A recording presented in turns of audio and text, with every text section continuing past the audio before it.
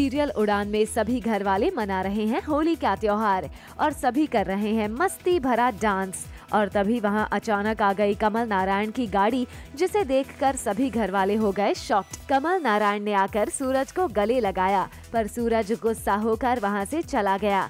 सूरज के जाने के बाद वहाँ आई चकोर और कमल नारायण ने उसे भी गले लगाया और चकोर के कान में कुछ उल्टा सीधा बोला। फिर चकोर ने भी कमल नारायण को दिया करारा जवाब। हाँ ये धमाका है। धमाका ये है कि इस धमाके के बाद बहुत बड़ा ट्विस्ट है। जो आखिरी पत्ता फेंक रहा है ये कमल नारायण। अगर इसमें सक्सेसफुल नहीं होगा वो तो फिर कमल नारायण कमल नारायण नहीं गिरेंगे इतना शौक हो गया मतलब कि सूरज को इतनी घृणा करते थे उसको मरवा देना चाहते थे उसको गले लगा रहे हैं फिर मेरी बेटी को गले लगा रहे हैं। मुझे लग रहा है इनके पीछे इनका बहुत बड़ा षड्यंत्र है कुछ बहुत बड़ी साजिश रचने वाले हैं ये। For all the Garma Garam Bollywood gossip news and more, download the Zoom app now.